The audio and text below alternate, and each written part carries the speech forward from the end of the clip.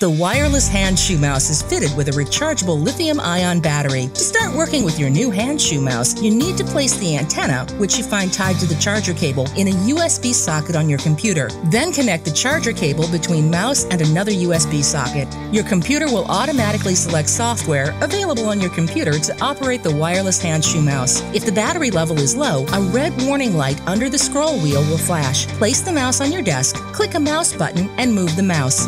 The cursor should move on the screen. If the cursor does not move, re-establish the pairing between antenna and mouse. Press the small black button on the bottom once and hold a few seconds. Let go of the button. The blue LED light on the bottom of the mouse will go off. Press again, hold a few seconds and let go. The blue LED light on the bottom of the mouse will come on.